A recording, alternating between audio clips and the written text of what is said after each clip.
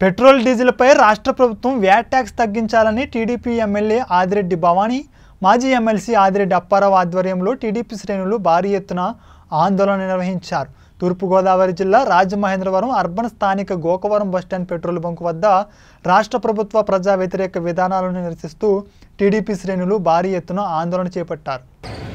పక్క రాష్ట్రాల్లో ఎక్కువగా ఉంటే నన్నే అన్నాడు ఈయన కానీ పక్క రాష్ట్రాల్లో చూస్తే ఏ రాష్ట్రంలో చూసినా మనకన్నా పదహారు రూపాయల నుంచి తొమ్మిది రూపాయల వరకు తక్కువగా ఉంది. ఈ పెట్రోల్ డీజిల్ ధర దగ్గర ఒక పెరిగిపోవడం వల్ల ఎవరు ఇండస్ట్రీస్ పెట్టరు. ఇండస్ట్రీస్ పెట్టకపోతే యువతకు ఉద్యోగాలు ఉండవు. ఇన్కమ్ జనరేట్ అవ్వదు.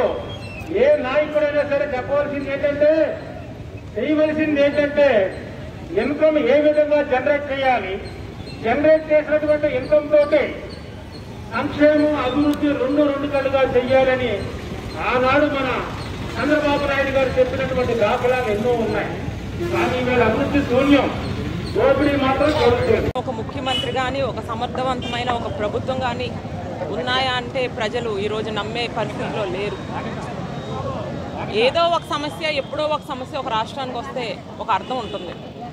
ఈ ప్రభుత్వం వచ్చిన కానించి ఈ ముఖ్యమంత్రి కుర్చీలో కూర్చున్నప్పటి నుంచి ప్రతిరోజు రాష్ట్రానికి కష్టాలే. ప్రతిరోజు ప్రజలకు కష్టాలే. ఏదో ఒక విధంగా ప్రజలు చాలా ఇబ్బందులకు గురి చేసిన ప్రభుత్వం మనం ఎన్నడూ కూడా మన రాష్ట్ర చరిత్రలో ఉందంటే ఇదే ప్రభుత్వం. వచ్చిన కానించి మనం చూస్తున్నాం ఇసుక కొరత వల్ల ఎన్ని మంది ప్రజలు ఇబ్బంది పడ్డారు ఎంతమంది వ్యాపారస్తులు ఇబ్బంది పడ్డారు పెట్రోల్ డీజిల్ ధరల పెంపు. కేంద్రం డెబ్బై నాలుగు రూపాయలు అమ్మకం ధర నిర్ణయిస్తే ఈ ప్రభుత్వం ముప్పై ఆరు రూపాయలు ఎక్- ఎక్కువ పన్ను పెంచి నూట పది రూపాయలు ఈరోజు మన రాష్ట్రంలో ఉందండి. పొరుగు రాష్ట్రాలు మన ఎన్ని రాష్ట్రాలు మనం పద్నాలుగు పదిహేను రాష్ట్రాలు మన పొరుగు రాష్ట్రాలన్నీ తీసుకుంటే అందరూ కూడా మనకంటే చాలా తగ్గిస్తున్నారు వాళ్ళు ఇంకా పన్నులు తగ్గిస్తున్నారు. ఇంకా ప్రైస్ తగ్గించి అమ్ముతున్నారు. ఈరోజు మన రాష్ట్రానికి ఎందుకు ఇంత దుర్గతి పట్టిందన్నది ఈ ప్రభుత్వం వచ్చిన తర్వాత ప్రజలు చాలా ఇబ్బందులు గురవుతున్నారు. ప్రజలు యొక్క ఇన్కమ్ చె- పెరగలేదండి. ఎక్కడా కూడా రాష్ట్రంలో ప్రజల యొక్క ఇన్కమ్ పెరగట్లా.